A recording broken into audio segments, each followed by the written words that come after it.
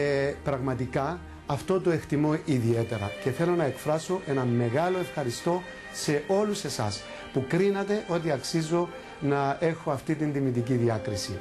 Ξέρετε, ε, πιστεύω ότι ο κόσμος αντιλαμβάνεται πλήρως αυτό που του προσφέρεις και εγώ προσπαθούσα, ελπίζω να το πέτυχα, να εκφράζω με ένα σεβασμό προς τον κόσμο. Ε, πάντοτε όταν έβγαινα στην τηλεόραση ήθελα να είμαι προετοιμασμένος, να γνωρίζω το θέμα, να προσπαθώ να εκφράσω αυτά που ο απλός τηλεθεατής ήθελε να κάνει. Ενεργούσα με λίγα λόγια εκ μέρους του κόσμου. Ε, ειλικρινά και το γεγονός ότι βρίσκομαι μακριά από τα τηλεοπτικά πράγματα τα τελευταία χρόνια, ε, θεωρώ ακόμα πιο τιμητική αυτή την βράβευση. Γι' αυτό δεχθείτε ξανά τις ευχαριστίες μου αλλά και τις ευχές μου για μια καλή και παραγωγική χρονιά για όλους.